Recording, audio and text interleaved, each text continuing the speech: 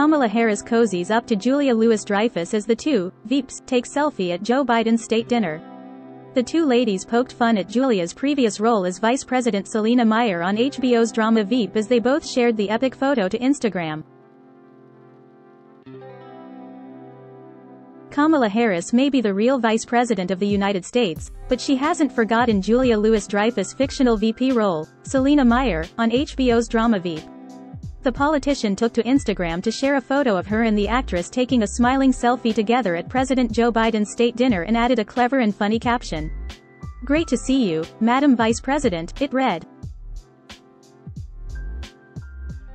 Shortly after Kamala shared the post, Julia took to her own Instagram to repost it along with an even more hilarious caption that was written while in character as Selina talking to her personal assistant Gary.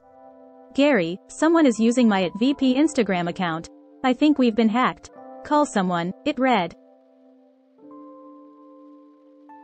Once the post was published, Julia's fans quickly responded with comments full of compliments and joy.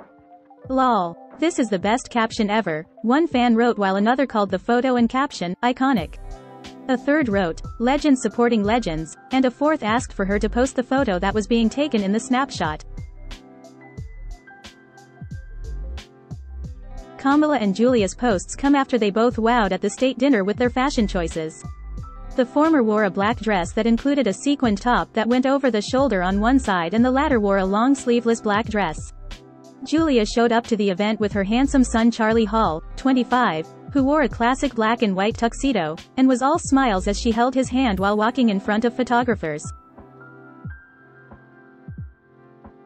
In addition to Julia, other world leaders and celebrities who attended the state dinner include French President Emmanuel Macron and First Lady Brigitte Macron, First Lady Jill Biden, Stephen Colbert, Jennifer Garner, Jon Batiste, Chrissy Teigen, and John Legend. Like Julia, many of them brought their children along and shined throughout the night.